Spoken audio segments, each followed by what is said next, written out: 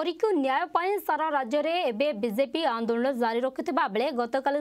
बांकी बीजेपी विधायक प्रार्थी शुभ्रांशु मोहन पाढ़ी नेतृत्व में बीजेपी शताधिक कार्यकर्ता बीजेपी कार्यालय ठार् कैंडेल शोभा आरंभ कर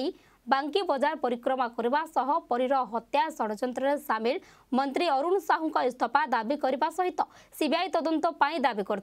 सरकार अपारगता और राज्य सरकार विरोधी विभिन्न स्लोगान दि जाता सरकार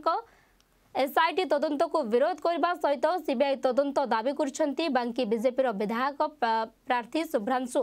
ମୋହନ ପାଢ଼ୀ ରାଜ୍ୟରେ ଦିନକୁ ଦିନ ଯେଉଁଭଳି ଭାବରେ ଆଇନ ଶୃଙ୍ଖଳା ବିପର୍ଯ୍ୟସ୍ତ ହେବାରେ ଲାଗିଛି ଏବଂ ଖୋଦ୍ ମନ୍ତ୍ରୀ ଅରୁଣ ସାହୁଙ୍କ ନିର୍ବାଚନ ମଣ୍ଡଳୀରେ ନିରୀହ